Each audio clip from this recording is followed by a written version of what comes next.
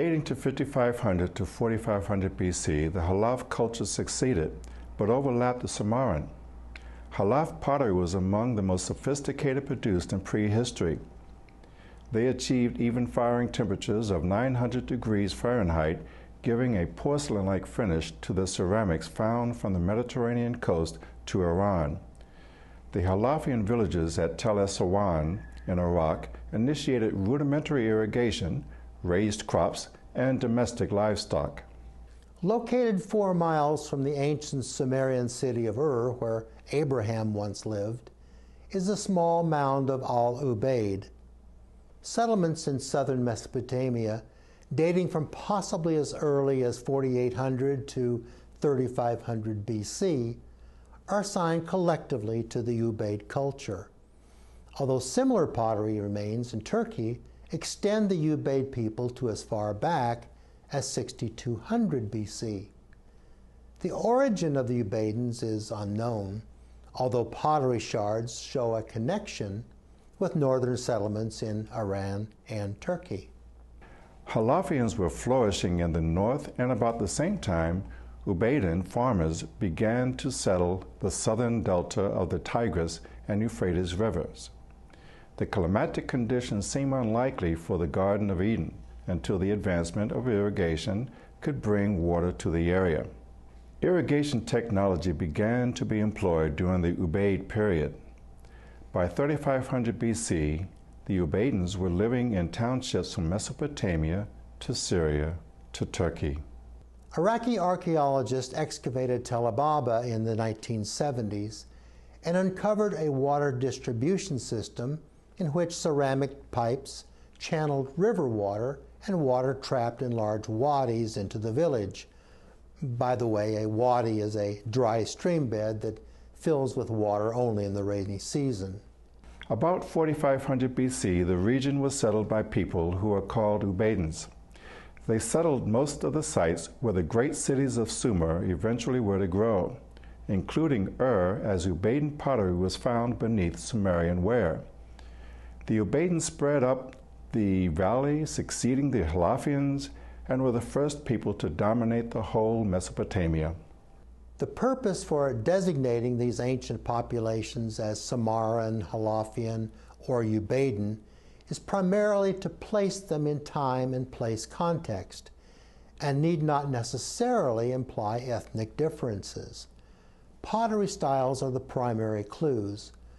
Later, when written language is developed and pictures are drawn, we can infer racial and ethnic differences between the Akkadians and the Sumerians who occupied this region after the Ubaidans. Broken pieces of pottery show subtle transition from Ubaid ware to Uruk ware as the Semitic Akkadians and Sumerians began to occupy what had been Ubaid settlements. This slow change is more indicative of friendly contact with neighboring cultures than it is of a foreign invasion and replacement by conquest, quite common later during the third millennium. The first city settled in southern Mesopotamia, according to the Sumerian king list, was Eridu. The statement from the opening of the Sumerian king list is in agreement with the findings of archaeologists who excavated these ancient cities and dated the beginning of Eridu at 4800 BC, earlier than any other city in the immediate area. Here is where a fortuitous natural change of landscape came to the aid of these early settlers. Although irrigation techniques were known at this location, the heavy lifting provided by nature had already been done. At some time in the distant past, perhaps millions of years prior, due to an earthquake probably, the Euphrates River changed course. Although it now flows in a southerly direction initially and then turns southeast before it empties into the Gulf, previously it flowed a little further east from a point north of Sippar until it emptied into the Gulf slightly west of where it does now.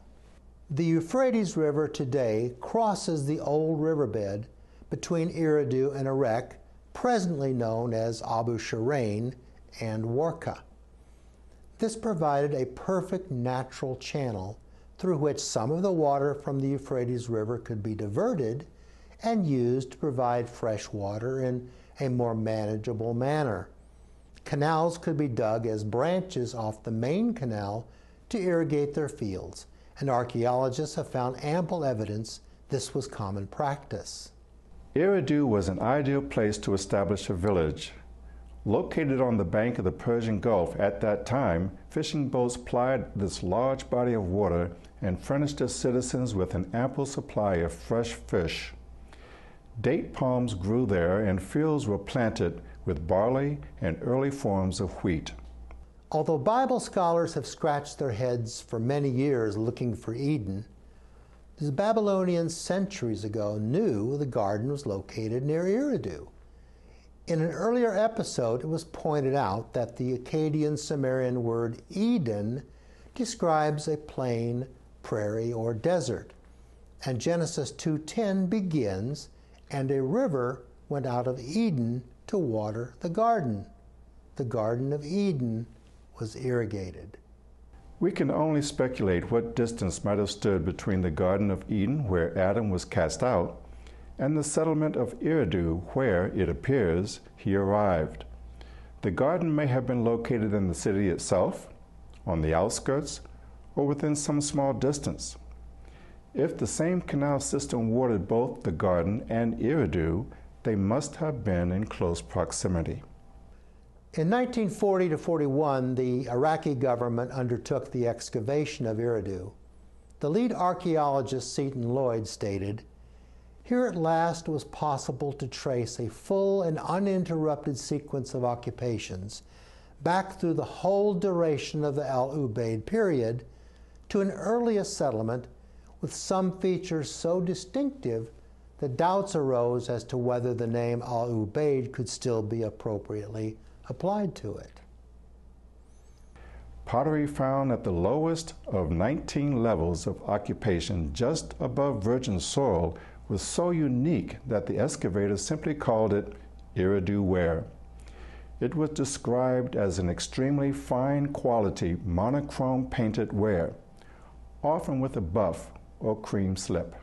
Here are some examples of Eridu ware. Also found at Eridu, nearly at the lowest level, was another distinctive pottery style. In 1937, a German expedition discovered this very distinctive ware at a small mound at the village of Kalat Haji Muhammad. They also uncovered this same material along the banks of the Euphrates, located fairly near to the biblical Erech, and dubbed it Haji Muhammad ware.